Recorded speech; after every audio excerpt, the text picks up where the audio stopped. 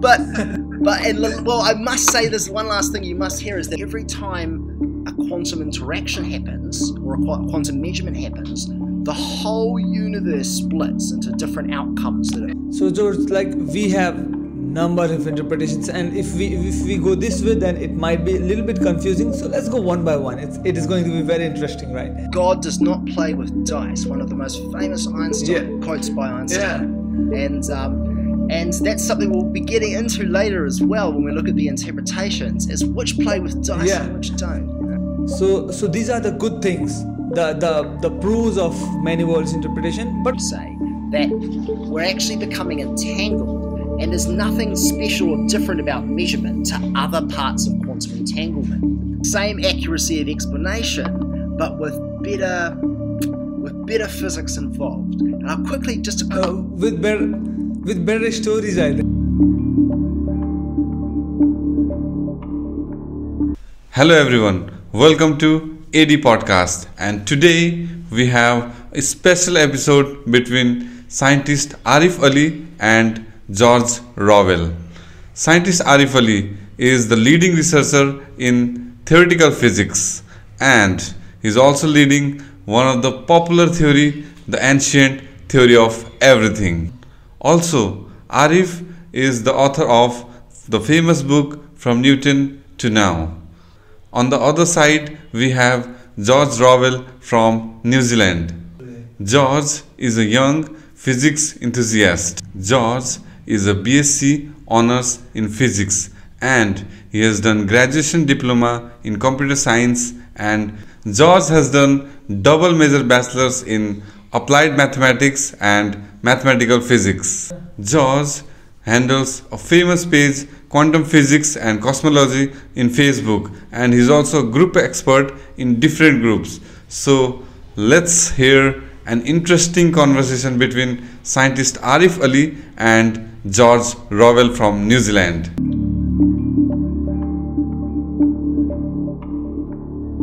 Today with us we have George Revell and we are going to discuss the ins and outs of quantum weirdness. And since there are a lot of weird things out there in quantum mechanics from superposition to entanglement from many world interpretation to copenhagen interpretations there are a lot of things to discuss. And yeah. Hello george. How are you?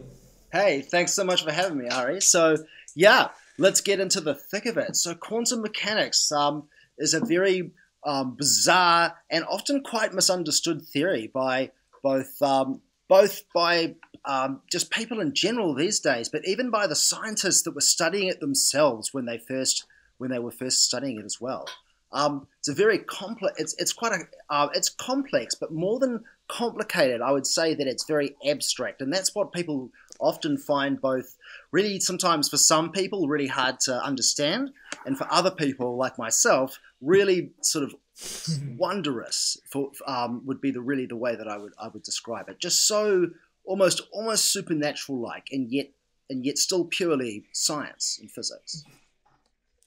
So what what do you think is the weirdest thing in quantum mechanics? Because there are a lot of things.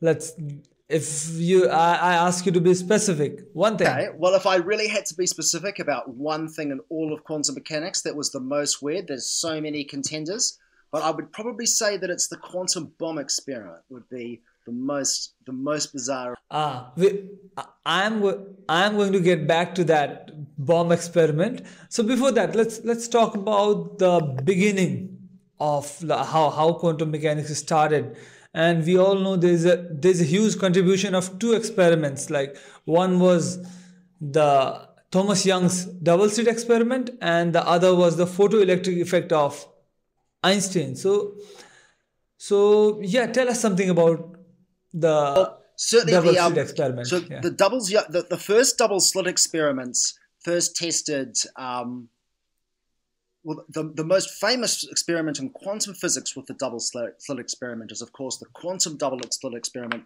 where they fire a particle one at a time at a at a, um, a pair of walls, one after the other. The first wall has two slits in it that the particle can travel yeah. potentially travel through, um, to reach another wall behind it, which is a detector wall. So it detects exactly where the particle lands on it when it reaches it. So you've got an electron gun, say, for example, and that's one of the ways that they've done this. One of the amazing ways they've done this experiment is with an hmm. electron mm. gun.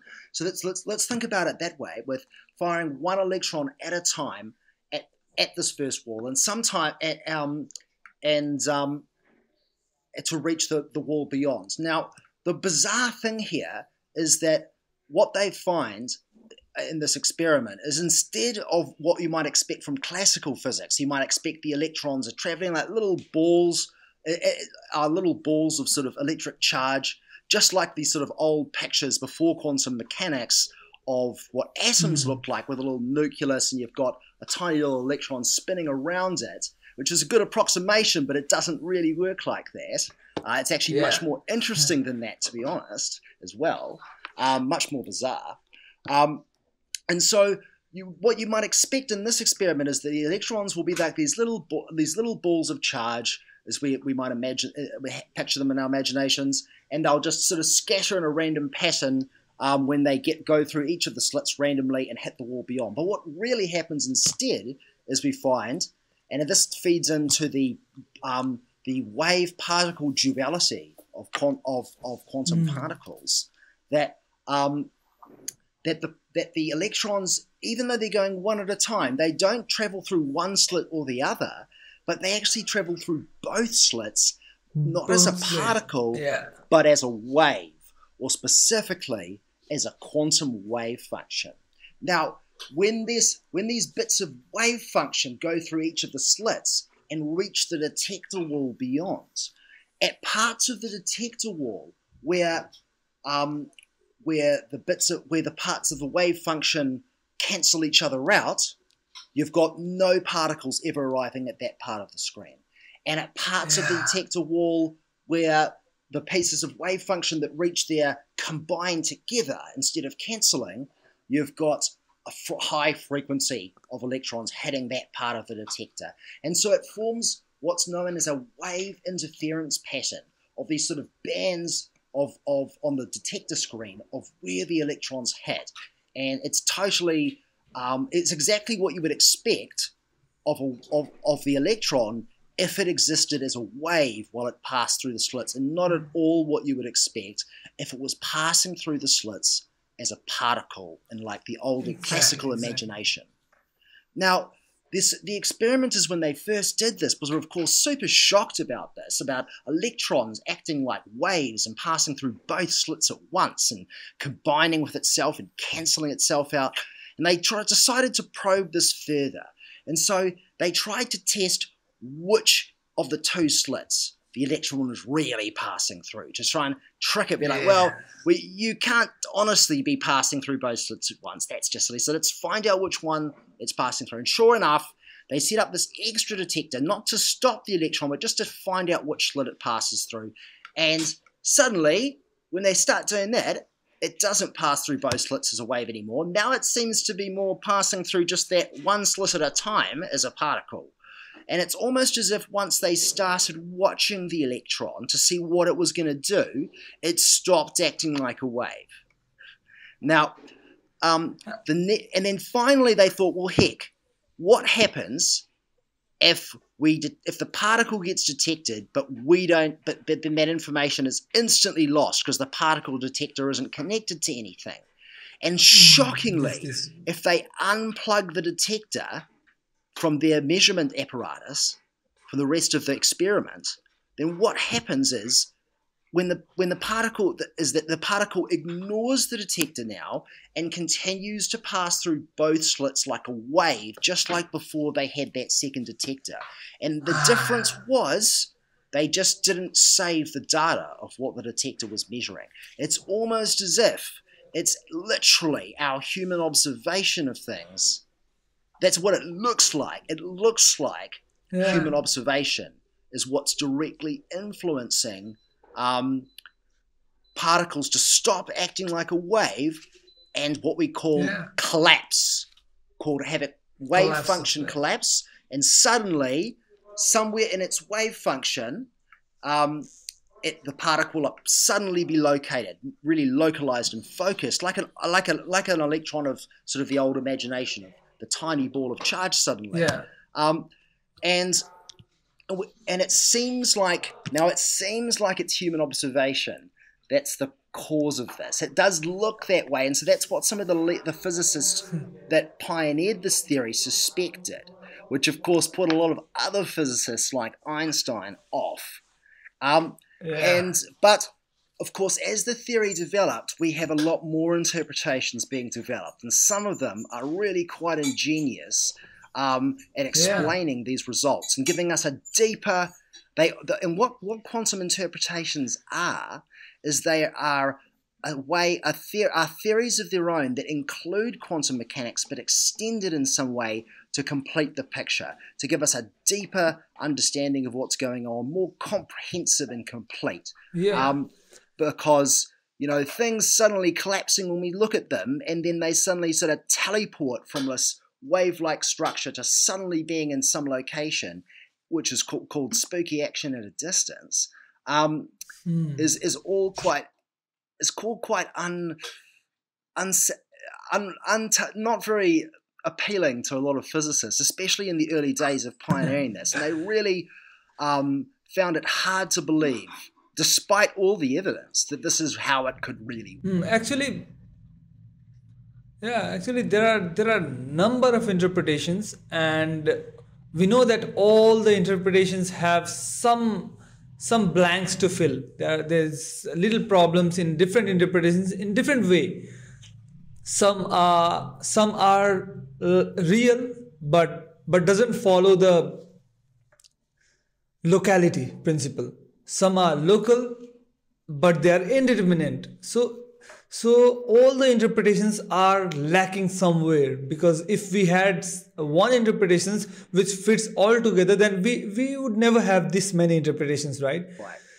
I feel like I feel like this feeds into a really important concept as well. Um, is what's Yeah. called hidden variables theories, and this is what Einstein Yeah. was obsessed with, and spent a lot of the later years of his life fruitless, unfortunately, fruitlessly researching. Unlike his earlier work in, in gravity and quantum mechanics, and uh, so hidden variables theories is an, uh, what a hidden variables theory would be if there was such a thing would be a theory that could explain all the weird and wondrous nature of quantum mechanics, its probabilistic nature, the sudden spooky action at a distance with the wave function abruptly collapsing, um, Entanglement. yeah. and and the whole problem of why things suddenly change when we measure them as well. Um, and and it would try and do this with a totally with just like a particle that was always in one place. It was always it uh, had one state at all times, so it was always in one place. It's always spinning in one direction, nicely behaved in a classical sense, and also it only interacts with its immediate environment. It can't do things. It can't suddenly move somewhere in a distance abruptly or or Yeah. affect something at a distance away just without any time for that message to be communicated. Now, this idea Yeah. of the ideal solution to quantum mechanics does not exist. And we know this we don't know this is a, what we basically know this is a definite mathematical fact now. And um, that that's the case. And we get this from experiments like well, uh, we, which we can maybe get into later on in the cast, um, called the Yeah. Bell test, which try and really get on top of this. Now, interpretations, so other interpretations of quantum mechanics that really do exist, real theories that we have, unlike hidden variables theories, either they tend to either accept, they all, all accept at least one of, uh, they all give up, sorry, they all give up on at least one of One, locality. yeah. That means that that things can only interfere with what's in their immediate environment. They can't somehow affect. So, so, so George, so George, like we have number of interpretations, and if we if we go this way, then it might be a little bit confusing. So let's go one by one. It's it is going to be very interesting, right? And before before that, I, I'd like to tell that there are a lot of people who who claim that Einstein he couldn't cope up with the quantum mechanics, right? There, there are people who think like Einstein couldn't understand quantum mechanics, but but he actually was the one who originated, who started quantum mechanics. He, he was even awarded Nobel Prize for his work in photoelectric effect, and that's how he proved the dual nature of light as well. Light is also a packet of energy. That's what he proved. And he also had a very interesting statement that God God never played dice and that's where that's where he shows his belief toward the hidden variables right there is a variable which is God does not play with dice. One of the most famous Einstein Yeah. quotes by Einstein, yeah and um, and that's something we'll be getting into later as well when we look at the interpretations. Is which play with dice Yeah. and which don't. You know. so which one is as per you the most accepted interpretations of quantum mechanics Well, it's, it's a good question. It's now I've changed my own mind in recent years. So I used to lean towards what's called. Um, I always believed for a long time now in quantum realism. So there is no actual Uh, particle as such. The particle exists in a multitude of different simultaneous states in a superposition of possible states that you might measure it in. And it's not actually chosen yet before you interact with it. This is sort of known as quantum realism. Um, this this whole Yeah. notion that wave functions of part of quantum particles aren't just descriptions of, of how we can understand what happens in experiments, but this but that this really is a fundamental way to understand what's going on. Uh, and that's yeah, so again, that's Mm. known as quantum realism.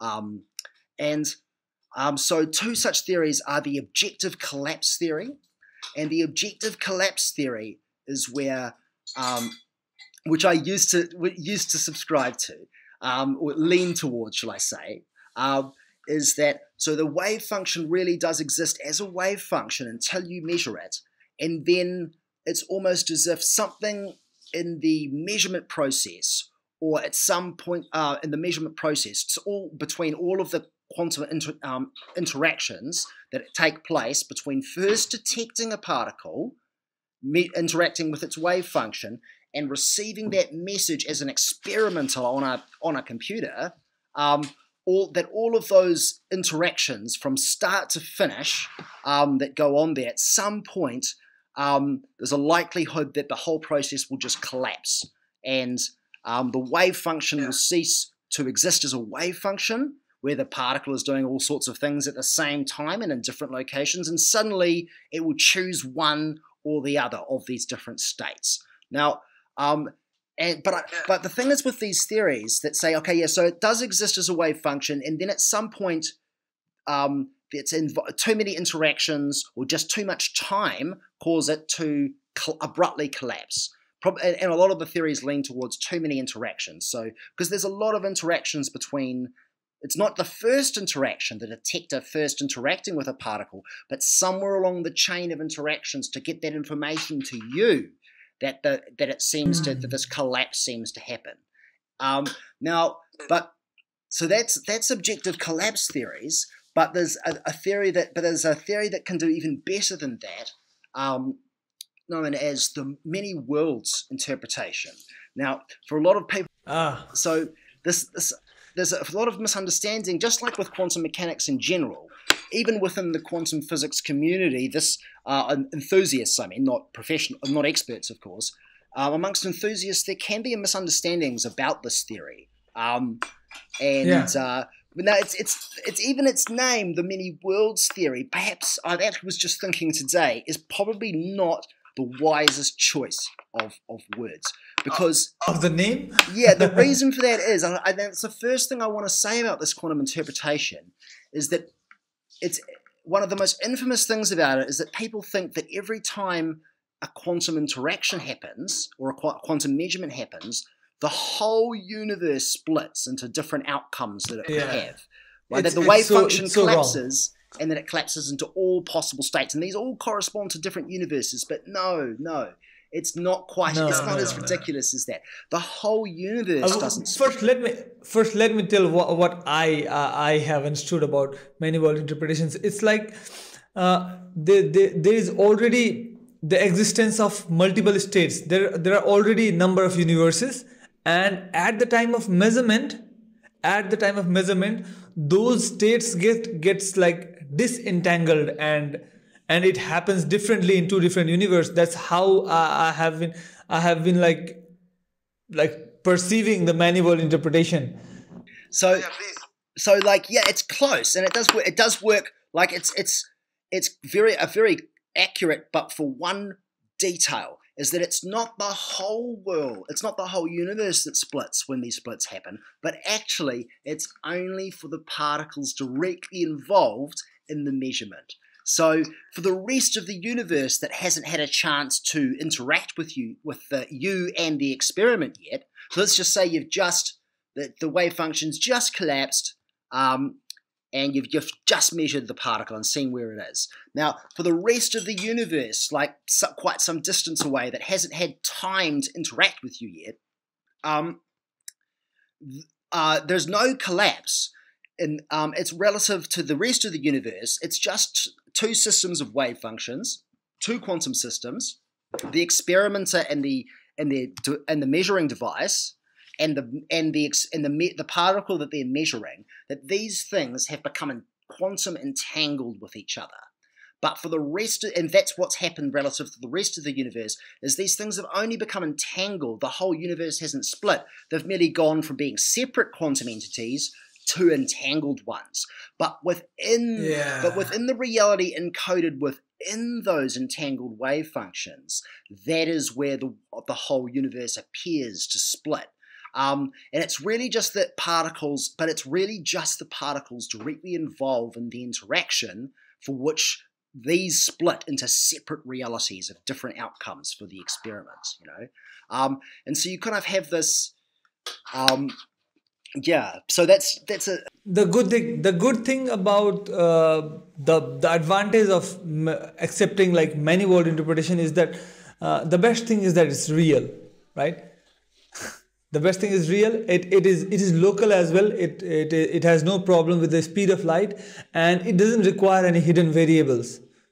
So so these are the good things the the the pros of many worlds interpretation. But on the other hand i think like I, I always think of Occam's razor, you know, when when it comes to many world interpretation, because we, we can't do an experiment to prove that there there's there's a universe existing right beside you or somewhere here and we are not able to detect it. We will never be able to detect that right? So these are uh, a kind of drawback for many world interpretation this is the biggest drawback. The one big drawback that I do confess for the many worlds interpretation, which I lean towards personally in recent years, is that um, indeed uh, one of those points was totally legit, and one of those points is a really good is a is a really com- common misconception amongst physics enthusiasts that it's again that it's the whole universe that's that's splitting and this cope and the um and the Yeah. Occam's razor. Occam's razor does play a role with many worlds interpretation,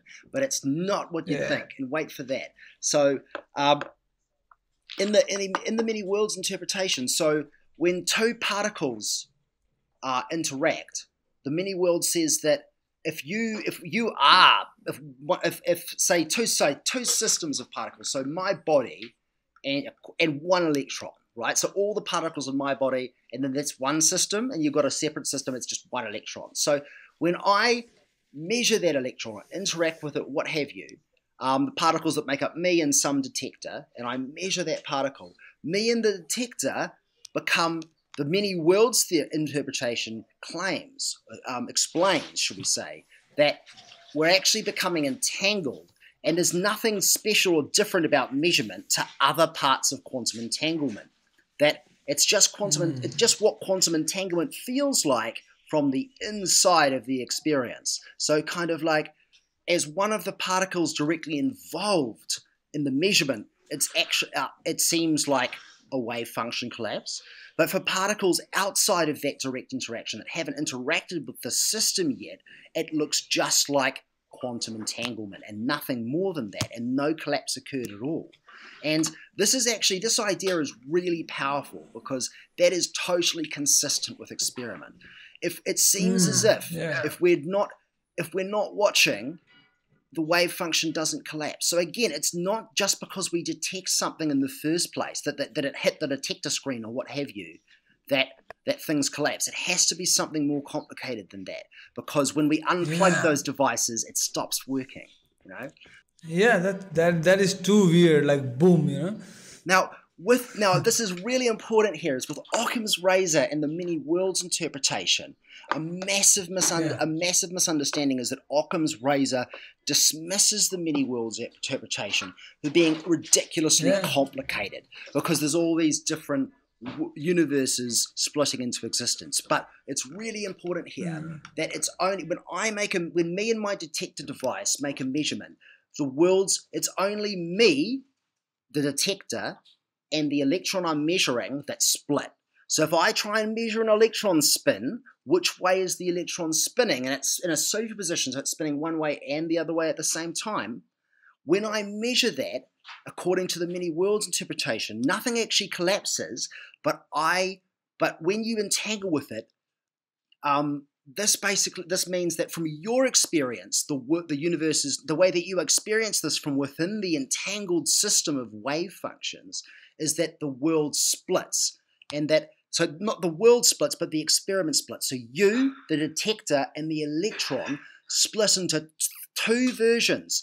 One U detector electron that was that detected electron spin left, and one U detector electron that's measured the electron spinning right instead. And so this is what split. It's everything involved in the experiment that split, but not everything else beyond the experiment. And so this is the first really great misconception about many worlds to clear up is that it is that it's just the experiment what's involved directly in the experiment that gets split into multiple realities and not everything else in the existence in the universe. Yeah. Otherwise, otherwise it would it would be like it is so so difficult to think like we are talking about an electron electron and it is multiple states just imagine like how many electrons we have here how many walls are going to split I mean, let's let's So not those are the forget things- though. Let's not let's not. Um, I will stress though, and another weakness of the many worlds is that while it's not true that the whole universe splits each time, as I've just explained, but there are a lot of these interactions going on, and so there is a huge amount of splitting going on. There is a, it does result in an absurd number of individual realities, but not technically in, but but um, a- large number of realities, but at least it's not. But it certainly isn't the whole universe that splits. Just that, just that when things become entangled, for for those things that are entangling, it's as if the the world split. Just for those things that are directly involved in it, though. Um, and um, I'll, I'll quickly say that. Um, so so this this is about many worlds interpretation right so right. Yes. Uh, there, there is there is an interpretation which has been like widely taught. We can't say like widely accepted. There are a lot of people who are strictly against it, and that is Copenhagen interpretation. Right. So the Copenhagen interpretation was kind of like the original, uh, original solution, suggested solution for quantum mechanics, and, and and many people argued that it was not very good. Um, it was extremely abstract, and it had spooky action at a distance, and it also had Yeah. uh, it had neither it had neither locality. It had spooky action at a distance, and it also this theory also has non-realism. So particles don't have an exact state until you measure them, and then things can abruptly change in non-local spooky action at a distance ways when you do measure them as well. Yeah. Um, Yeah. And I, in Co- But but to those Copenhagen, it's the actual measurement itself, the actual perception, the observation that they claim is is collapsing the wave function. Now, it does, it often does look like that. It it really can look like that, but arguably, other interpretations like the many worlds um, provide the same accuracy of explanation, but with better with better physics involved. And I'll quickly just a quick with better stories, I think. I'll, Like same reason, yeah. I'll quickly say to finish on the many worlds is that um, so so the many worlds in particular, it's most um, firstly just just to finish on Occam's razor. Occam's razor actually says that the many worlds interpretation is the most mathematically simple uh, um, solution to quantum mechanics. Now, this is very counterintuitive. How on earth could it be that mathematically the simplest thing is all these splitting realities? And sure, it's only like the local experiments and, and interactions that are splitting, but it's still a lot of splitting. It's still pretty abstract. Um, Yeah, yeah. that this is the most simple explanation. The explanation for that is that you see, we already have what we have for sure is that the wave function seems to be the best and most accurate way to describe quantum particles up until measurement. And many worlds just says, hey, wait a minute, what if we're just misunderstanding what happens when we make a measurement and there is no collapse? It's just the internal experience, the subjective experience of of what it's like when you entangle with something that you're measuring. Yeah. And, and in this way, they actually removed the whole collapse postulate. So in this, in many worlds, wave function collapse is just an illusion that covers for that covers from the reality of quantum entanglement. Um, and so that you, what you have in many worlds is that the is that the Schrodinger equation that describes how the wave function moves is the end of the Yeah. story. That is the full picture of quantum mechanics according to the many worlds interpretation. And so because everything in quantum mechanics can be explained with the least maths via many worlds interpretation, this therefore makes it the mathematically simplest interpretation, and therefore, by by Occam's razor, the simplest answer. Shockingly, yeah, and sur- Uh, that that's yeah that that that might be a like huge statement as well. Because because I I personally feel sometimes I feel like you know weak Copenhagen interpretation is so simple. In a way that it it doesn't talk about anything. It it it tells you set up and calculate. It gives you formulas. It it makes predictions and very accurate predictions as well but it doesn't talk about what is wave function what it talks about where in the world this waving is happening right so in some way we can call it a, a very simple as well yeah. Well, that's a good point. But the difference between Copenhagen and many worlds is that, and this is the, mm. they are identical up until wave function collapse. And the the many worlds says there's no wave function collapse. Schrodinger, do your thing. Yeah. While Schrodinger equation, do your thing. While Copenhagen says, oh, that's the end of the game, collapsed. Um, and it's now sort of transitioned non-locally by spooky action at a distance to a, a Yeah. particle. And so you see, many worlds doesn't have that complication, that extra, that extra piece to explain. I, I, I'm I'm I'm getting that you you are you are not going to agree right but but and well, I must say there's one last thing you must hear is that many worlds Yeah. on top of all of this is one of the only interpretations that is completely local, in that actually Yeah. it explains Yeah. all spooky action at a distance as purely an illusion, and it also Yeah. explains all probabilistic nature of quantum mechanics as purely kind of an illusion as well. The probabilities just come from not knowing which of the worlds you'll split into. And so that's where the probabilities Yeah. come from. And so you've got with many worlds, Yeah. you've got it explains locality. Not everything's local. It's just a trick of the. It's just a trick. It's just an illusion. Don't worry about it. There's no broken physics Yeah. here. Uh, there's no low locals. There's no no lo, non-local spooky action at a distance in the actual physics. Just what you think you see. Then it's got um, the probabilistic nature of quantum mechanics is completely explained in an Yeah. entirely deterministic, mathematically exact way.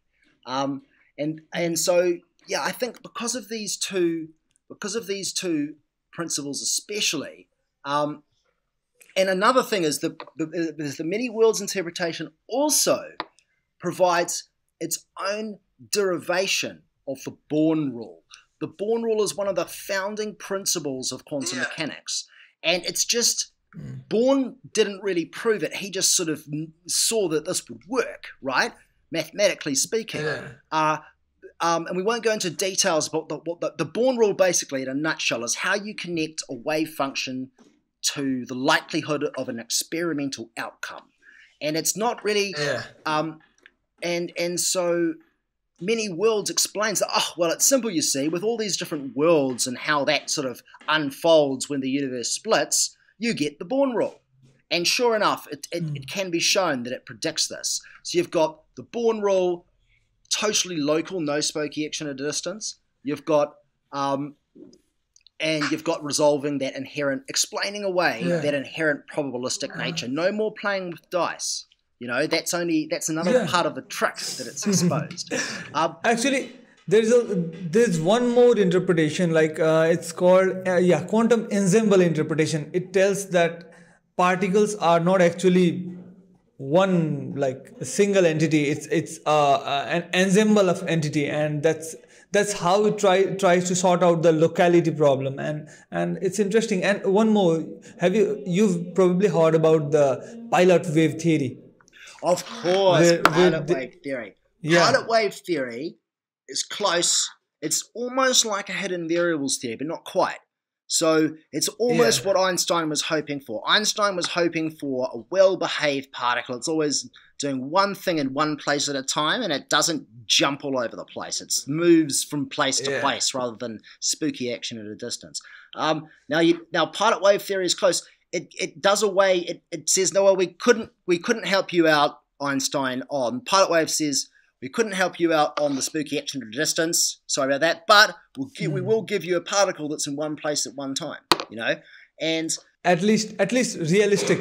yeah, so at least it would be real Yeah. in the sense. It would have this Yeah. realness to it. So let's when I say real for the context of quantum mechanics, what I literally mean here in this context is particles always have one state at once. They can only spin in one direction at once. They can only be in one place at once. That's called real.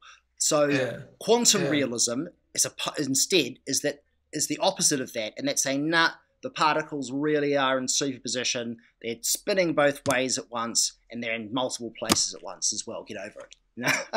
um, and so you've got these two. So um, the pilot wave theory attempts to describe how you've got these two interacting systems. You've got what's called the pilot wave, and you've got which is like shaped like the wave function of the particle, and it pushes the little particle along, and that's why it only moves where the wave function is.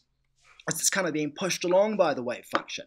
Now, the problem with this theory is, firstly, it does assume spooky action at a distance. So the, the bits of the wave Yeah. function, if you detect a bit of the pilot wave, the particle will instantly know.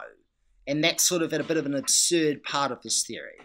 Now, the other major problem with this Yeah. theory is that it can't be combined with Einstein's special relativity. Unlike um, other, unlike the many worlds interpretation, and actually most of the interpretations, pilot wave has been left behind. Yeah. So, like, uh, like you said that many worlds interpretation uh, f- fits somehow with uh, general relativity uh, better than other interpretations, but Which interpretation, I feel like many many world interpretation fits properly with general relativity, Einstein's relativity, right? Did you say that?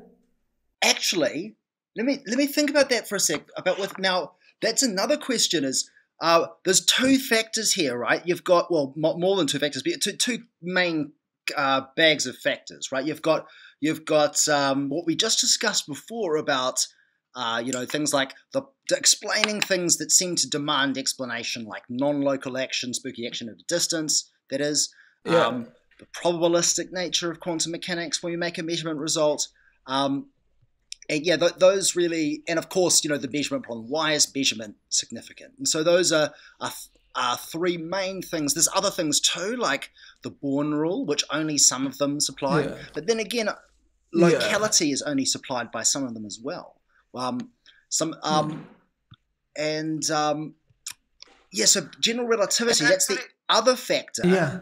many worlds um, many worlds doesn't as it stands at the moment actually fit with general relativity and that would be a massive detracting point against it i suppose Yeah. and when i say it doesn't fit it, well, it, it depends on which regard we're talking about um, in terms Yeah. of um, gravity. Gravity is a problem for many worlds interpretation.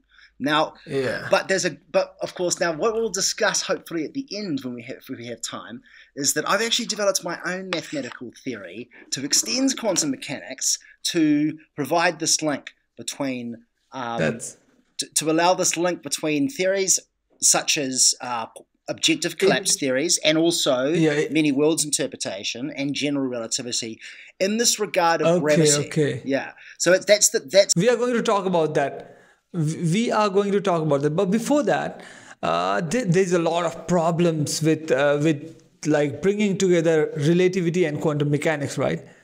There's like it's a huge problem in in current physics world. It's it's a kind of we've got to leave everything apart leave aside and just work on that. Because these are the two main pillars of modern physics. And uh, general relativity explains things based on space time which can be curved which can be distorted right? But when it comes to quantum mechanics it it talks about the smooth space and time. It talks about the flat space and time right? Well, yes, this is this is a re- and actually another really important thing to inject here is that um, is, is with regards to gravity and, and general relativity is that some quantum theorists hope that they will come up with a particle theory uh, of of gravity, so a graviton, just like we've got photons that transmit sort of light energy. Um, they would hope that there would be a graviton that would transmit gravitational attraction um, between between Yeah. objects. They haven't found this. They haven't managed to theorize it. though. Yeah. So that's not a Yeah. it's not a thing. Um, they hope to make one up, but they, they haven't found they haven't managed to make it Yeah. mathematically viable yet. To find a particle and so what this conclude what I conclude about this is that general relativity actually is correct, and that um, that qu- quantum mechanics at its assumption of a flat space time is is a very old assumption now, and I think it's one that needs to be to be dropped. But the reason that they can't just drop it and just say, okay, fine, curved space time, is because the way space time curves, that's all to do with gravity, and they don't know how to connect the quantum physics of the, the quantum the quantum sort of um, non non-realism of quantum mechanics, how things exist in superposition, and connects Yeah, that it's- to an exact curvature for space-time. You see, when you've got objects in superposition, it becomes mathematically impossible to describe Yeah. the space-time curvature because of that, and that's a huge problem Yeah. for quantum mechanics. And this is the but this is the greatest ever clash between quantum mechanics and general Yeah. relativity, the greatest of all of them. and and we know that whenever there is a clash there is a very beautiful thing that that grows in there you know like uh, there there was a time when when there was a clash between maxwell and newton. There was a time when we got special relativity and then there's problem with uh, with the the like you know instantaneous gravity effect and then we got general relativity and again now we are at the same point where, where we have two very big theories and they are not getting together and i think it, it is going to give rise to something very beautiful and it might even like destroy our current understanding because we I think that two we- things. I think there's two things that really just cannot go anywhere, and that's at least special relativity. You see, all of Ah. modern. You see, we've already tested. We've we all we have managed to do is combine Yeah. quantum mechanics with special relativity. That cuts out pilot wave, unfortunately, but the but everyone else comes for the ride. He missed the bus, you know. Yeah. But but everyone, but, all, but the other interpretation. In in my previous discussion with uh, Dr. Heike Belek, we we discussed some of the some of the theories, uh, so-called the ancient theories that that are trying to come come in the focus. They are, they are trying to explain things that uh, even relativity is struggling to explain, like. Uh, we, we even had a discussion where we talked about the second postulate of special relativity, the the invariable constancy of speed of light, and and uh, we we like uh, reached to the conclusion that we don't have any experiments till date that that confirms the second postulate directly like there are there are many indirect evidences. There are a lot of evidences that proves time dilation that that proves gravitational lensing which are the product of relativity but not directly the second postulate where we tell that the speed of light is constant uh, in all frame of reference and till now we are not even able to measure the one way speed of light. So i think that there's still a room there's still a space that we can come up with a, a very different a very original concept that can bring quantum mechanics and relativity together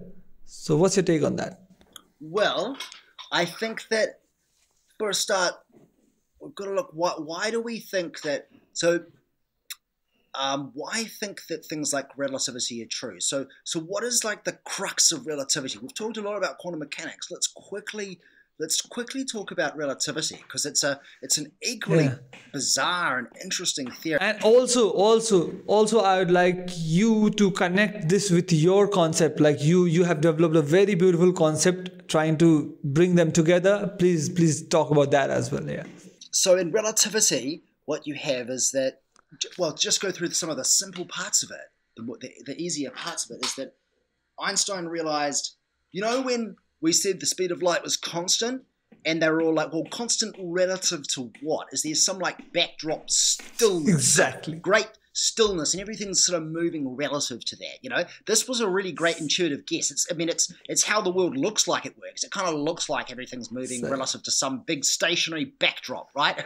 Now, relativity suggested, what if that's not actually true? Because they've never managed to detect any proof. They tried, but they could never find any proof of any difference in the laws of physics depending on like say if they guessed some stationary backdrop frame and like okay well what if we're going against it or with it? And no, nothing made any Hmm. difference. And that was the weird thing. And, and then that, then einstein realized and it's, it's it's thought experiments like this right? If everything had to travel at the speed of light no matter what all no exceptions. If you're moving in a uh, if you're if if um sorry if if if, if you're moving at a constant speed you must see light travel at the speed of light. That's what I meant to say. Sorry. And so um, yeah now here's a problem with that. Okay, let's say I'm on a train in, a, in, the, in the future, very distant future, and it's moving at half the speed of light. Okay, and now I'm going to Mhm. shine Mhm. a torch forward um, in the same direction the train is moving. I'm, I'm sitting on the train and I'm shining a torch forward. Now, I see the light move at exactly the speed of light Mm. relative to me moving on the half light speed train, right? Now, but if someone was looking in through the window um, and could see this light beam moving along, and they weren't on the light speed train, the half light speed train, how fast would they see it moving? Now, I've said that for me it's the speed the speed of light, right? So, but I'm moving on a Mm. train that's moving at half the speed of light. So, if you do the math there, a Newtonian idea of how the world would work would say that the person next to the train would see the light beam inside the train moving at one and a half times the speed of light. Train speed Yeah. plus light speed. Wrong. Hmm. They see it also, just like me, at exactly the speed of light. Even though yeah that paints a seemingly inconsistent picture of reality. And the answer is that Einstein realized, and it's kind of ingenious in that it's it makes me laugh in that like it's so abstract, and yet the maths is actually surprisingly straightforward for special relativity. And that's part of the genius of it, is that general relativity is very mathematically complex, his later work, but this early work, working out time dilation, the algebra is simple enough to probably show a fifth former at high school. So it's like it's yeah uh, which is really astounding that something that breakthrough could be that could have been that mathematically simple. but the, but the but, it, that's the beauty sometimes of physics. It's not about being the best mathematician always. It's also about having the most creative insights as well, and that's what really won through here. You know, now. What Hmm. Einstein realized is that time and space actually swoop at high speeds, and that um, this is part of his special relativity, and that that at high at the half light speed on the half light speed train, my whole experience of time is slowed down relative to someone next to the train because of my high speed, and and so and and my space will also seem kind of compressed in some way, or, or stretched, and the, the combination of the stretching of space and the stretching and squeezing of time, so making time more compact or stretching it to make it stretched out and slower. This combined effect means that everyone can see the speed of light at the same speed, no matter how fast that train is going, even if it went 99% the speed of light. Let's change the scenario now. I'm going at 99% of the speed of light on the train. I shine the light forward. I still see it at the speed of light relative to me. But the guy next to the train, again, by a Newtonian idea, you'd expect him to see it at almost two times the speed of light. But instead, he sees it at half that speed. And so that's, and that of course is the same explanation. It's the same stretching and warping of space and time that make the numbers crunch out to, to keep the speed of light Yeah. always the same. Now we know that this is, we, we, I mean, this is actually taken into consideration by how our GPSs work, right? So that's a really Yeah. amazing thing, is that our GPSs um, is that not not by a large factor, but they but because of the differences in gravity and speed that they experience um, where they are in orbit, traveling at high speeds around the Earth and um, and with slightly less gravity being further away than the surface, the combined effect of that is that they actually have a slightly slowed down time experience of time relative to us. And if we didn't take that into consideration, over time G- GPSs would fail uh, because there would be like a miscommunication. If you assumed that the speed of that that um, that there is no relativity, um, that GPSs would not be able to function. You know, they would they would just lose accuracy constantly and have to constantly be reset all the time. You know, um, yeah whenever we yeah. Whenever we talk about relativity we we we don't get tired like thanking einstein thank you so much thank you so much. But we we forget a name like Hendrik Lorentz who who formulated this transformation. And that's what was was brought up with a very beautiful concept by Einstein right? So so now tell, tell me a little about what what you have to like you know present oh, of course. So my like, theory, what- right? So yeah, please. let's let's. So this is the uh, the, the the dessert, I guess, for today is that um.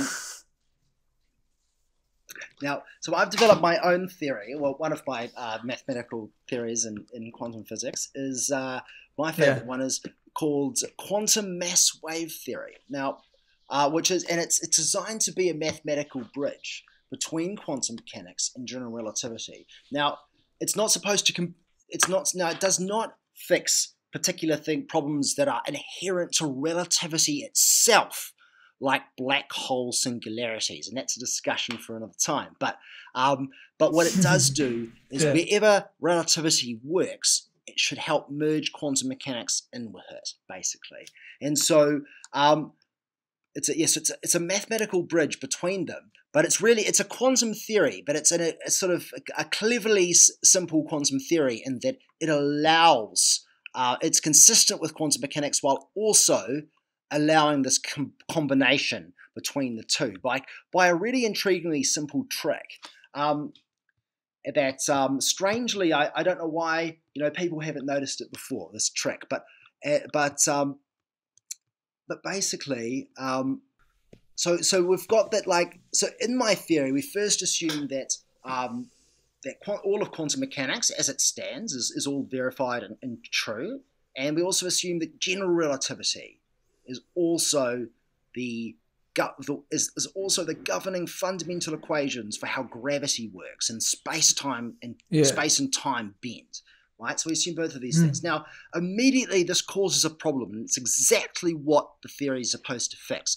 Is the immediate problem is that well, wait a minute, you just can't have particles. You just can't have that the mass of objects, right, exists as a wave function, like not really determined where it is. Hmm. It's kind of here, kind of there. It hasn't hmm. decided, and and still have an exact curvature for space time. Because you see, if there was if the particle's mass is not quite one place or another, then the curvature isn't quite one place or another either, and that's a huge problem. And it, that it just it, yeah. there's just no way to make that the maths work out. It's called an, a normalization problem. You cannot renormalize it. Infinite, it all blows up to infinity, yeah. and there's no way around it. Now this theory would fix that, and that is that it says, well, wait a minute. Um, in in quantum mechanics, what is it that only some properties are actually in superposition? So position and momentum and spin, these are all properties in superposition. But what is not in superposition, for example, is the electric charge of the of the of the particle.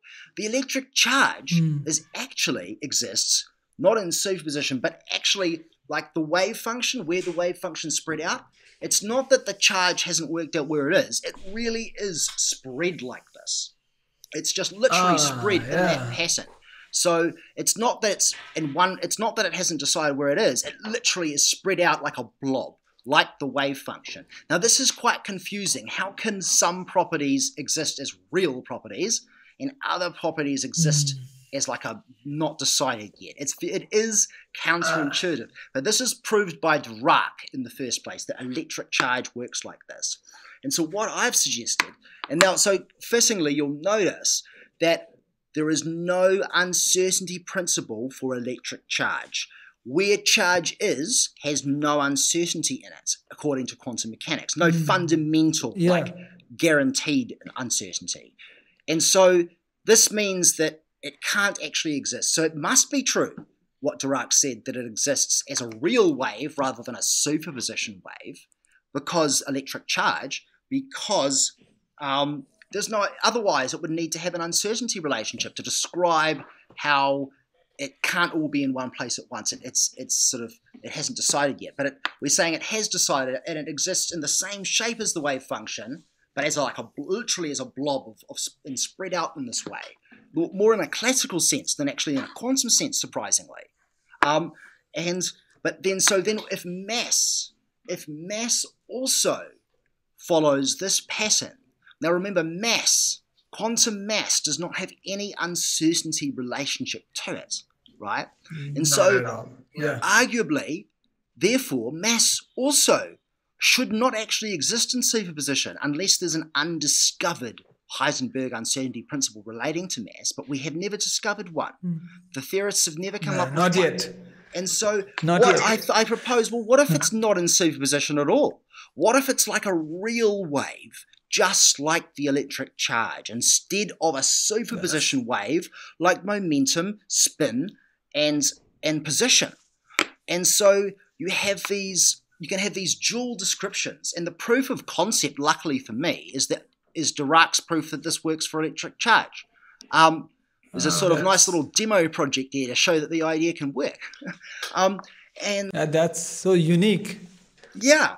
Um, uh, uni- yeah and so um, and the idea is literally so you literally have the Born rule. The Born rule becomes describes would st- would describe both um, the electric charge. The Born rule describes the electric charge as a real wave. It describes the position of the particle as a superposition mm. of where the particle might be. And I would propose that a third notion to add to this that the particle also exists as a real wave of mass. And now, of course, okay, these real waves of electric charge, the known one, and my suggestion, mass, they of course collapse with the wave function upon measurement. So they don't stay spread out like this. That is only how their properties are positioned until interaction.